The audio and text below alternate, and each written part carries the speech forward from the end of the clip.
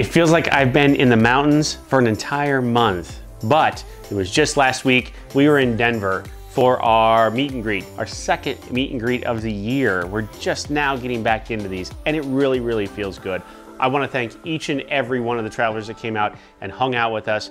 Uh, two of the three breweries we went to were awesome. We had a great time, and then we ended up at this weird club on down. I would never go to these places, and that's why they're so much fun. Individually, maybe none of us would end up at these places, but together, we go out, we have fun, it's safe. We usually eat really well too, and then at the end of the night, we say goodbye, and then we see each other, you know, two, three, four months later, a year later, whatever that is. But again, thank you to everybody that came out. It was a blast. We had so much fun.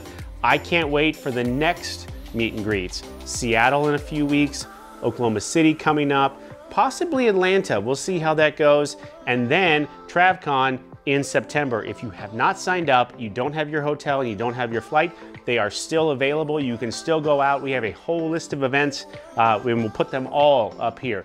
Pool party, uh, happy hours, breakfast, you name it, you can do it with us in Las Vegas at TravCon coming up at the end of September.